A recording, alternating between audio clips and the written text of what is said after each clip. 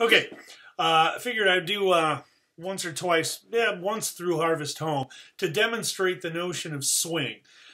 Now, here's how one would play this tune as if it were if it were a reel.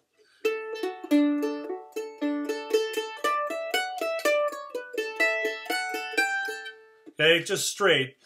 And what you definitely don't want to do is just play every note gets the same value. All right. Um, here's because it's a hornpipe, you've got to swing it. Every pair, every eighth note pair, you have to emphasize the first and de emphasize the second. And it starts to sound like this.